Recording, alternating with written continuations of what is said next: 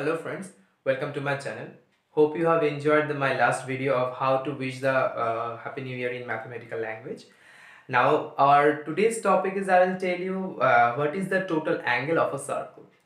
I'm not telling you that what is the total angle of a circle that uh, just uh, only the answer. Obviously you all of you know that what is the total angle measure of the total angle of a circle that is 360 degree. But I will tell that how does it come that why the total angle of a circle is 360 degree because uh, we know that uh, the angle of a total angle of a circle is 360 but some of us don't know or uh, know but not know that in the proper way that what is the reason that the total ang uh, angle of a circle is 360 degree. I will tell that today to you. Suppose i am taking here one circle this one. I mean suppose this one is circle because i am drawing in the rough hand so it is not looking like a proper circle suppose this is a circle with radius r centimeter, right? I'm telling, uh, taking this one as center and this is as r. With r unit, I'm not taking, right? Now we have to find out what is the measure of the total angle. Now we know the measure of the angle, the formula of angle is length of the arc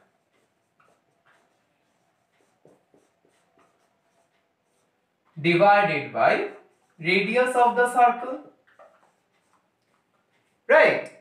Now we are finding the total angle of a circle. That means we have to take the total length of the arc of this circle.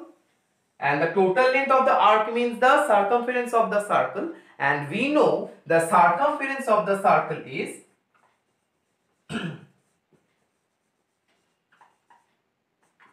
2 pi r where r is the radius Right friends?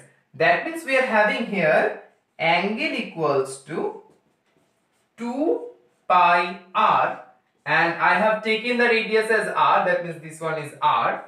Here r and r getting cancelled out like this one and it is becoming 2 pi. And we know in the angular measurement by the trigonometry the value of the pi is 180 degree because we are not taking as is 22 by 7 because we are not dealing about the uh, mensuration of this kind of things. So it is becoming 2 into 180 degree. That means 360 degree. And this is the reason that the total angle of a circle is 360 degree. Hope you enjoyed this video and it was helpful to you. And this was the all thing. And if you think the video is useful to you then please share my channel and subscribe it for this kind of video in the future and thank you for your support and thank you for watching Keep supporting me and stay connected. Thank you.